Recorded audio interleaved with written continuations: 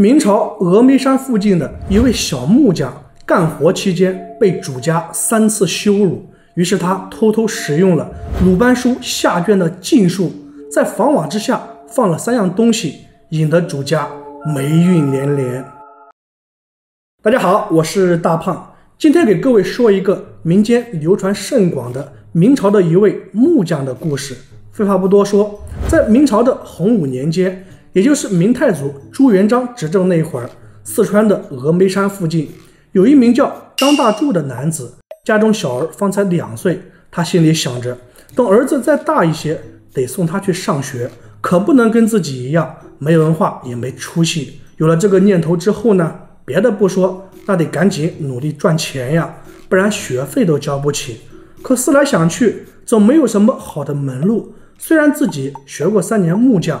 这也确实是个赚钱手艺，但当地是木匠之乡，干木匠的人颇多。一般人家找木匠干活，也大都会选择年龄稍大些的老木匠，干起活来也比较放心。张大柱呢，则因为太年轻，能接到的活很少，也比较小，长此以往，根本存不下来钱。他思索了一夜后，跟妻子说道：“要不我外出跑远些。”到别的乡镇找木匠活儿干，外地人不识得我，也不知道我的年龄，我谎报虚长个几岁，别人大概也瞧不出，兴许接的活能多些。倘若是有幸遇到富贵人家，我本身手艺也不差，干好了活，地主老财一高兴，光打赏就是一笔不小的收入。说到这里，妻子的脸上不由露出了担忧的神情。娘子不必忧心。我都计划好了，村东头的陈大叔在镇上的车马行赶车，时常要帮人送货去成都府。为夫平日里跟陈大叔颇有交情，索性就随着他的车去成都府碰一碰运气，路上倒也是安全。张大柱的爹娘听后倒挺支持他的想法，年轻人嘛，出去闯一闯也好。家中的事情不必烦忧，我们二老会帮着照顾。你就放心大胆的去闯。五天后，张大柱顺利的搭着陈大叔的马车来到了成都府。陈大叔把货送到店铺后，便随口问那店小二：“这附近有没有人要打造家具？我这个同乡看着虽然年轻，手艺却是好的很。”说来也巧，这店铺本就是卖杂货的。此时刚好有一个中年男子在柜台结账。他听后转过头来，上下打量了张大柱一番，眼珠子一转，脸上就露出了热情的笑容。哈，两位是外乡来的吧？咱们本地人都有相熟的人家，不会跑到这店铺来招活计的。话说这中年男子呢，名叫李金虎，刚巧他的儿子要订婚，家里准备换上一批新家具，眼下正着手打算找木匠。李金虎接着说道：“这样吧，我给你出一两银子的工钱，你到我家来帮帮忙。若是家具打得好，结工钱时再多给你几十文，也都好说。不知你可否愿意干？”张大柱一听，很是欢喜。要不说是大地方的，这一两银子的工钱，跟过往乡下的比，可高多了。当即便答应了下来。可他却不知道，这李金虎的为人。最是吝啬，满肚子的坏水儿，这一去算是上了他的当。刚开工的第一天，张大柱就很卖力的干活，做的也很仔细，一心只希望能给主家留下个好印象，也顺道在成都府打下一个好名头。为了不耽搁时间，李金虎把一间偏房收拾了出来，让给张大柱休息使用。可万万没想到，到了中午饭点儿。李家就给了张大柱一个馒头，但张大柱为人实诚，也没多想，硬撑了一下午，心想着晚上多吃些也就罢了。当晚，李家居然做了满满一盆酸菜鱼，饥饿难耐的张大柱很是欢喜，连忙夹了一筷子吃了起来。可谁知这鱼肉刚一入口，他很快就吐了出来。我勒个去，这鱼竟然是臭的！也不知道是从哪儿捡回来的，张大柱叹了一口气，只得往发黄的米饭中倒了一点水，将就着应付一顿。其实从饭菜的事情上，便能看出李家人很不厚道。但张大柱想到儿子将来的学费，还是决定坚持干完这一单活。既然李家的饭菜吃不饱，索性就自己买一些烧饼充充饥，也花不了多少钱。次日一大早，张大柱便来到附近街上买烧饼。当他走过一处卖鱼的摊子时，只听那个鱼摊老板对着卖菜的一个老者说道：“这李金虎昨儿来我这买了一条臭鱼，那鱼原本是要扔掉的。”他非要花一文钱买了回去，说是喂自家的猫。我一听，既是如此，也就卖与了他。谁知今日花大姐来买鱼时，却说是他家请了一个木匠，那条臭鱼就是做给木匠吃的。后来李金虎的婆娘还跟花大姐炫耀，花大姐好奇之下问我，我才知道了那条臭鱼的去处。估计那木匠是外地来的。不知道李家人的秉性，这家为人最是小气，特别爱占便宜，就怕呀，他最后连工钱都会克扣不给人家呢。旁边的张大柱一听此言，心中不由得咯噔一下。倘若真是如此，自己岂不是要白忙活一场？但他仍旧决定再观察两天看看，若实在不行，这活不干也罢。这天又到了晚饭时。李家给张大柱上了一大盆子肉菜，看上去倒也是色香味俱全。但奇怪的是，里面鸡鱼肉蛋样样不缺，活脱脱一盆大杂烩儿。张大柱回想起白天听到的话，就留了个心眼儿，决定先不吃这些肉。于是偷偷的把这道菜倒进了茅厕中。说来也巧，他刚从茅厕出来，便看到李金虎开门外出。他心中一沉思。便悄悄地跟在后面，约莫走了小半个时辰，只见李金虎去到了一处极热闹的客栈后门。客栈的大堂上坐满了往来行商的客人。李金虎站在后门等了一会儿，便有一个店小二走了出来。只见他将一包剩菜递给了李金虎，收了一文钱后，又回到了店里忙活。客栈的生意很好，总有一些富贵人家吃剩下的饭菜。掌柜的平时一般是把这些剩饭剩菜施舍给附近的乞丐，如今李金虎愿意花一文钱买去，店小二便偷偷卖与了他。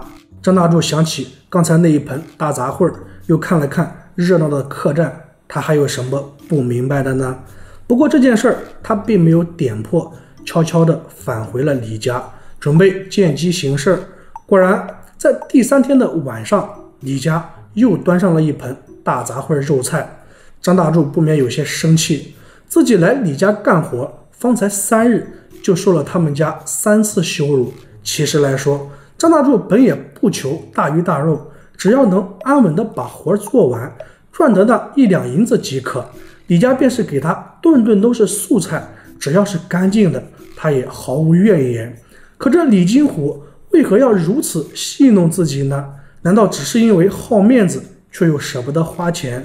当天夜里，张大柱在床上翻来覆去的睡不着觉，怎么也想不通李家人到底为何要对自己如此。辗转到半夜方才睡去，如此忍气吞声了几日。一天的早上，张大柱向李金虎告了个假。原来今天是陈大叔送货到成都府的日子，他想找陈大叔商量一些事情，还是在先前那一家杂货铺中。张大柱把自己在李家的经历一一说与陈大叔听。陈大叔本就时常在外奔走，各色各样的人见得多了。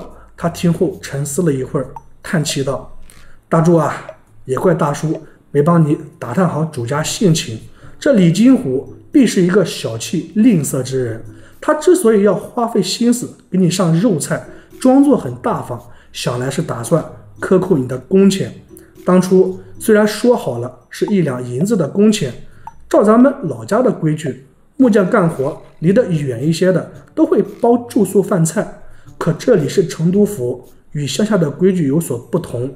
你和李家只是口头约定，并没有定下契约，又没有经过中间人介绍担保，到期完工之时，他要说扣你住宿和饭菜的钱，咱们也是毫无办法的。不然。他缘何要大费周章的给你上那肉菜。张大柱一听，觉得在理，如此一来，李金虎的这般折腾也就都说得通了。那既然如此，待他回去之后试一试他便知，否则再干下去也是白干。想到此处，张大柱便匆匆回到了李家。进门之后，张大柱找到李金虎，面带焦急地说：“李东家，不知这工钱能否预支一些给我？我家孩儿欠先生的学费还没交上，如今先生已经催了好几次，实在不好再推迟下去。我估摸着这十多日来，工钱也有个几十文了，这不就厚着脸皮来跟东家求助？其实张大柱的孩子才刚两岁，根本也就没上学。”他这一番话，目的只是要试探一下李金虎的态度。果不其然，李金虎听后，原本还挺和蔼的脸色，立马就沉了下来。你这个小木匠，还真是好高骛远。之前拿什么之前？你还欠着我们家钱嘞！张大柱一听，顿时就火了。我又不曾借过东家钱财，你为何如此说话？当下便追问了起来。李金虎原本还因为自己说漏了嘴，感到懊恼不已，正想着转移话题搪塞过去，可谁知张大柱就是不肯轻易罢休，摆明了要打破砂锅问到底。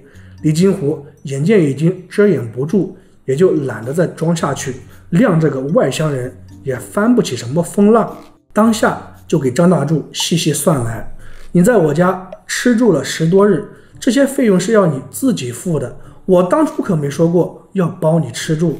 一一算将下来，可不嘛，干活的张大柱反倒欠了李金虎十文钱。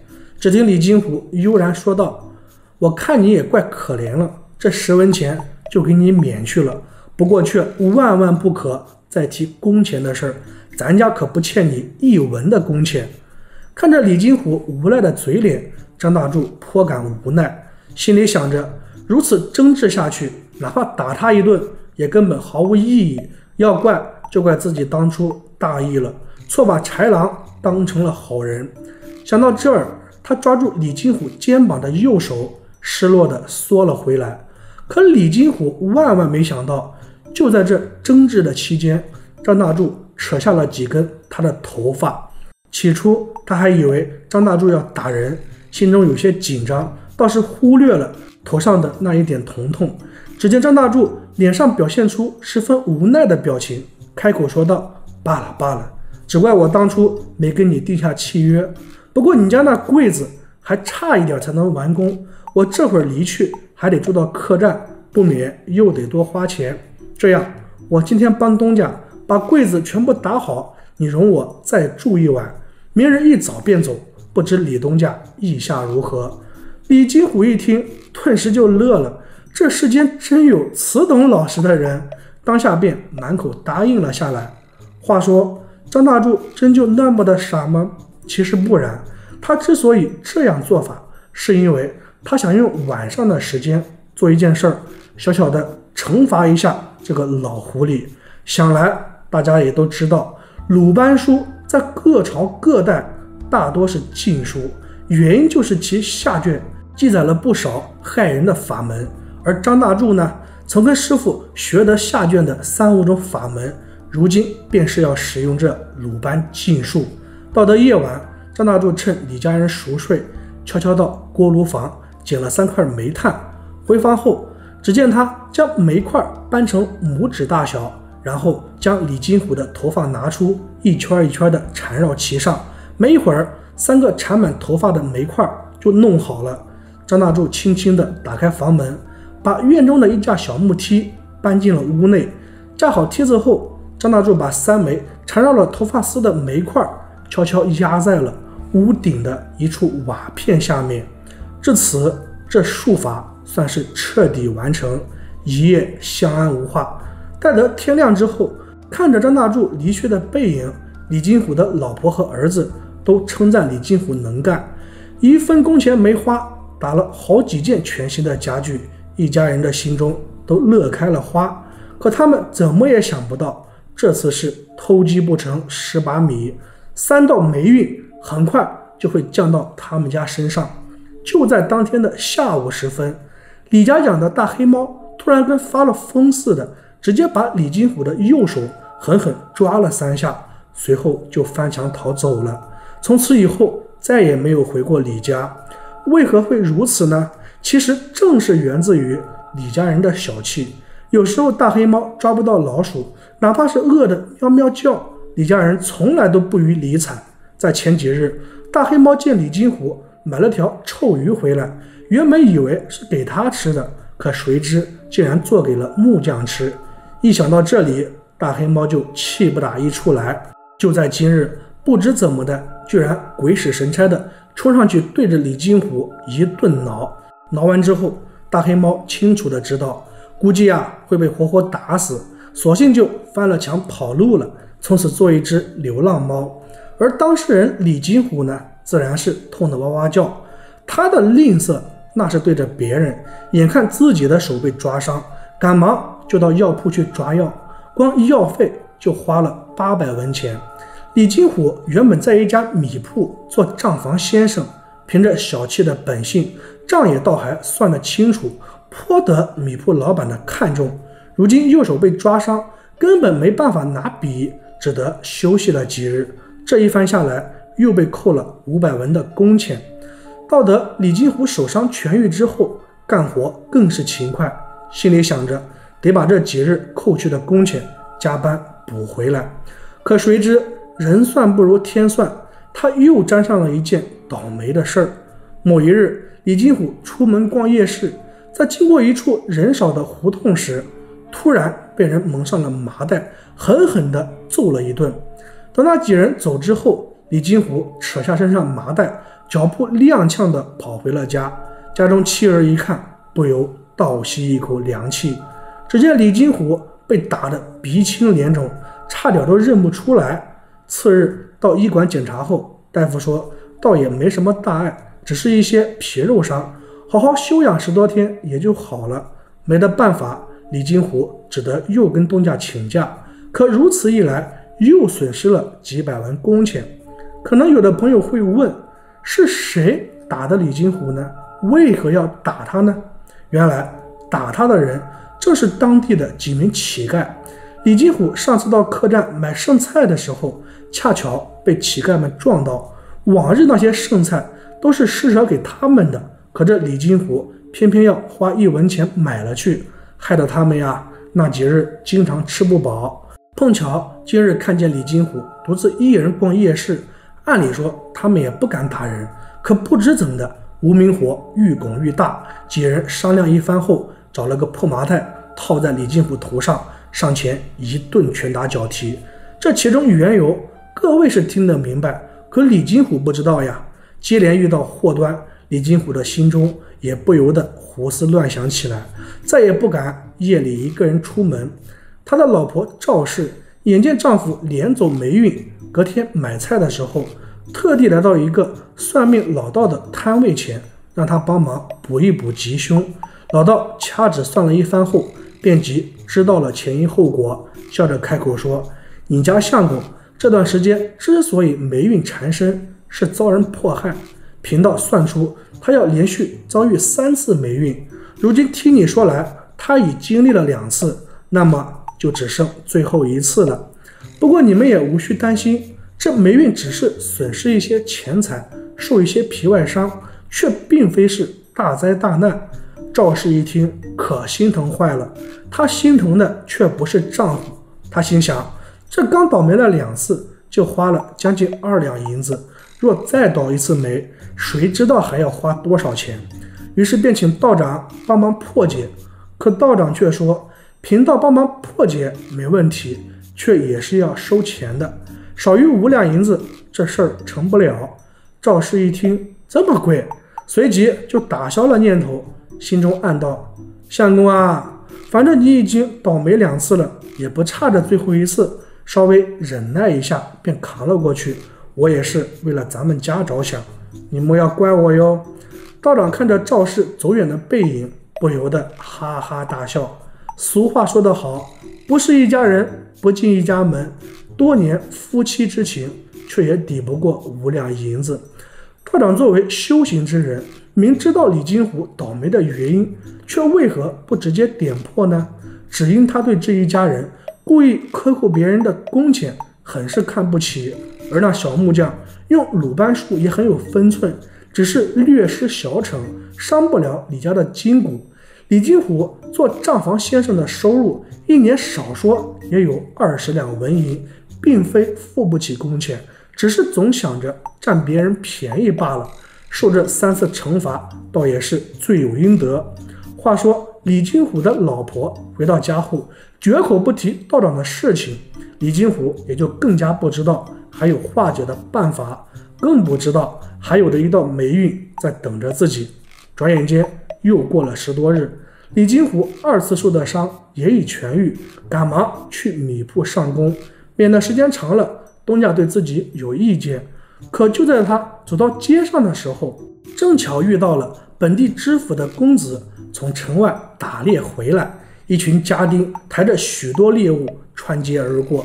此时的路两边已经站满了看热闹的行人。李金虎看了眼日头，时间还早，也就跟着一起站在路边围观起来。可他没想到的是，这一看竟又给自己惹来了麻烦事儿。知府家的公子养了一只猎鹰，在打猎的时候常常带着一起出去。此刻，那猎鹰正站在一个随从的肩膀上，因为猎鹰被训得熟了，脚上也就没绑绳子。往日进出城门时候也从来没有伤过人，可谁知今日就偏偏出了意外。当猎鹰经过李金虎身旁的时候，突然转过头盯着他看。只看得李金虎浑身发毛，转身便要离开，可谁知猎鹰突然就飞了过来，朝着李金虎的右手猛抓了一下，随后就又飞到随从的肩膀上站着。这一下，就连围观的群众也都被吓得大惊，纷纷四散开来，远远离开李金虎，只剩下他一个人呆呆站在那里，接受大家的注视。再来看这知府的公子。却也颇有心计。他先是向李金虎表示了歉意，后来一看是轻伤，便放下心来，吩咐身边的随从取了一两银子赔给李金虎做医药费，并对着围观的众人说道：“我这只猎鹰非常的有灵性，往日常常带着它出城打猎，从来没有伤人之事发生。可不知为何，今日猎鹰竟抓伤了这位先生。本公子总觉得其中……”必有缘故，却也一时之间不得其解。当公子画壁，想巴结他的人那多的是，只是苦于都不知道事情真相，不敢乱说罢了。就在众人冥思苦想之际，只见一个伙计打扮的男人走上前来，对公子施了一礼，十分尊敬地说道：“公子爷果然目光如炬，其实这李金虎还真的做了一件亏心事。”话说这伙计是谁呢？正是张大柱的同乡陈大叔。在得知张大柱的遭遇之后，他很是气愤，苦于没有证据告不倒李金虎，这粤语也不免郁郁寡欢。